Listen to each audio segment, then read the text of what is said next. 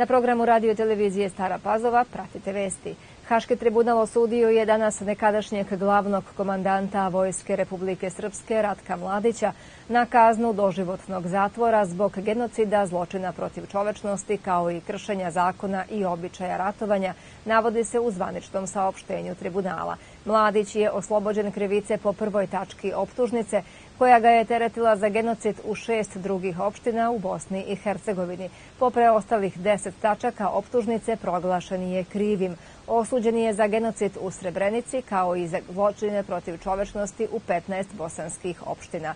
Predsjednik Aleksandar Vučić rekao je danas da je presuda generalu Ratku Mladiću očekivana, da on kao predsjednik države ne može da komentariše nepravostažnu presudu, a građanima Srbije poručio je da od danas počnemo da gledamo u budućnost i razmišljamo kako će nam živeti deca i kako očuvati mir i stabilnost u regionu. Nema značajnijeg i važnijeg dana od onog kad je Vojvodina prisajedinjena Srbiji, poručio je danas u Novom Sadu predsjednik Srbije Aleksandar Vučić. On je govoreći o tom događaju, o čemu je razgovarao sa rukovodstvom pokrajine, rekao da ćemo stogodišnjicu tog datuma slaviti naredne godine dostojanstveno i svečano, a da će centralna proslava biti u Beogradu. Odlukom Velike narodne skupštine Vojvodine od 25. novembra 1918. godine Banat, Bačka i Baranja prisajedinjeni su tadašnjoj kraljevini Srbiji, a dan ranije istu odluku donela je i Skupština Srema sa sedištem u Rumi.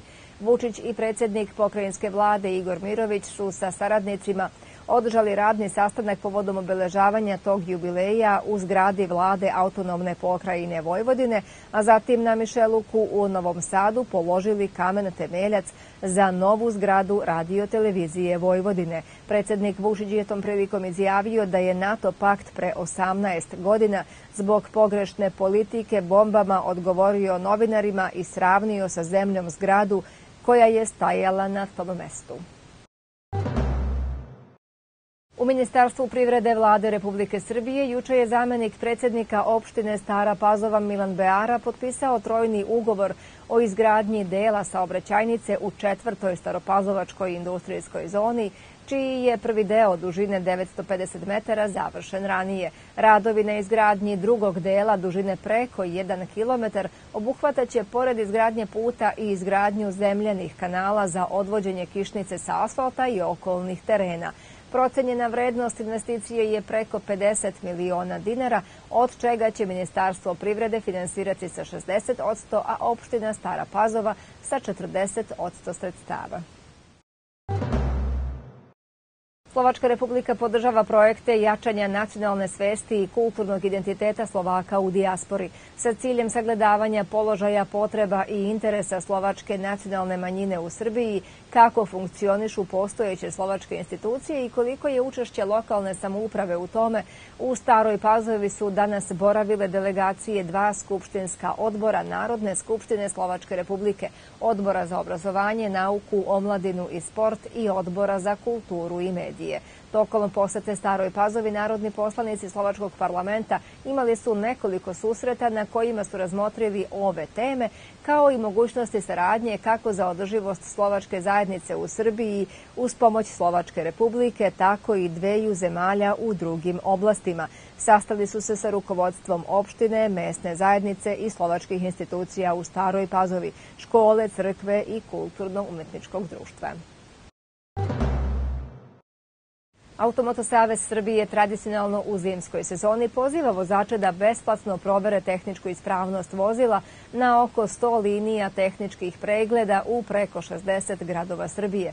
O značaju ove akcije najbolje govore dosadašnji podaci da je kroz preglede tehničke ispravnosti vozila koji su obavljeni tokom proteklih nekoliko godina u akcijama ispravno vozilo, bezbedno vozilo, utvrđeno da je gotovo svako treće pregledano vozilo bilo neispravno. U Staroj Pazovi se pregled može obaviti u automotoklubu Zastava do 25. novembra, a odziv je veoma slab. Dnevno se pregleda oko 2 do 3 vozila i polovina ima neispravne sisteme za kočenje i upravljanje. Vlasnici automobila su savjesni po pitanju zimske opreme i zamene pneumatika primećuju u automotoklubu Zastava u Staroj Pazovi. Košarkaši Dunava iz Starih Banovaca poraženi su u sedmom kolu Košarkaške lige Srbije u Staroj Pazovi od borca iz Čačka sa 71-68. Bio je to četvrti poraz Dunava od početka prvenstva i sa 10 bodova su osmi na tabeli, dok je borac prvi sa 13 bodova. Dunav će već u subotu igrati utakmicu osmog kola, a sastaće se u Beogradu sa ekipom OKK Beograd.